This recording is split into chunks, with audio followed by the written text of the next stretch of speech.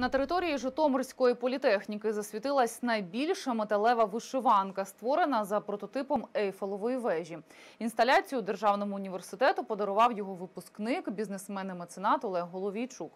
Наші журналісти дізналися, як виготовляли 33-метрову споруду та чим вона відрізняється від паризького прототипу. Якщо ви давно мріяли про Париж, але не можете туди потрапити через коронавірус, завітайте до Житомирської політехніки, де стоїть прототип Ейфелевої вежі, вбраний в українську вишиванку Полісся. Металеву споруду виготовили у сусідньому місті Коростень на заводі теплотехнічного обладнання «Кзот», де спеціальний станок може вирізати візерунки з металу в точності до міліметра. В кожному районі України є свої вишиванки, свій якийсь орнамент, е, свій колір. Ну, Поліська вибрана була. Вона для нас, мабуть, саме ближча, саме красива, саме рідніша.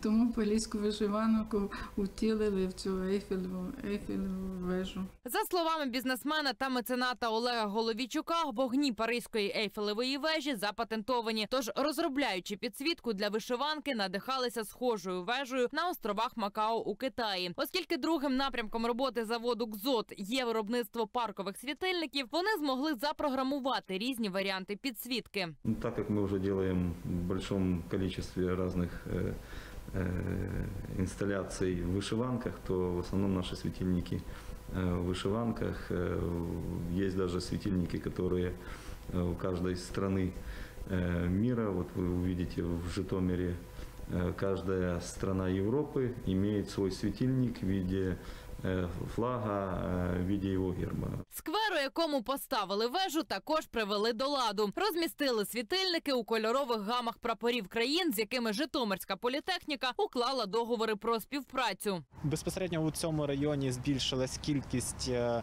людей, які приходять просто сюди пофотографуватися, прогулятися новим реконструйованим сквером.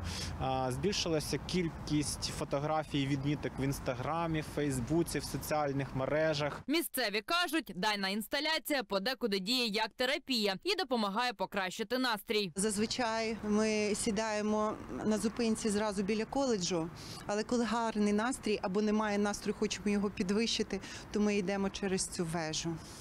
І підвищується настрій, і хочеться жити. І навіть коли себе відчуваєш ну, такою спроможною побувати в Парижі, хоч так, хоч подумки. Олег Головійчук обіцяє, що вже цієї весни схожа 30-метрова вежа прикрашатиме і його рідне місто Коростень. Анна Мельниченко, Аніта Копиленко. Новини Правда тут.